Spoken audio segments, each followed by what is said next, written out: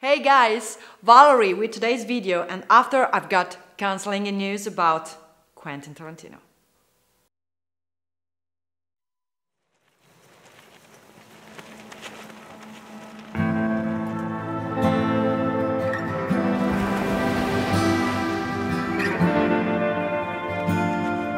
I apologize for the mystery. I don't mean to scare you. You're not in any trouble.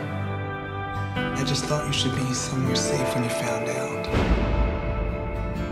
With somebody. He's going to be released. I don't know how much you they are missed.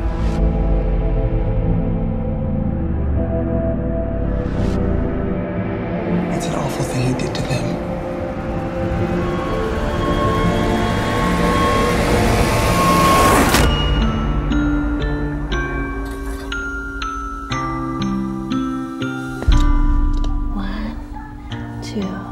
If it were my family, I might do the same.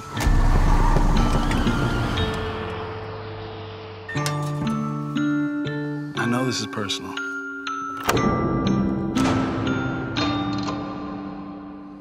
That's how you'll fail. I'd forgive you if you were crazy. But you're not. You're weak.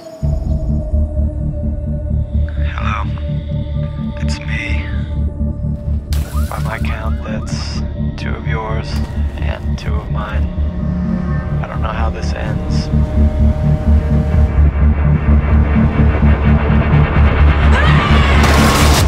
That's how this works, man.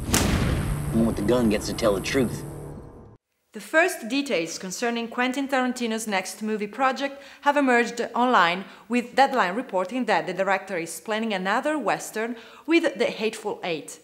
According to the report, Tarantino has Bruce Dern and Christoph Waltz in mind for the leading roles and is set to put the finishing touches to a first draft of the script over the coming weeks.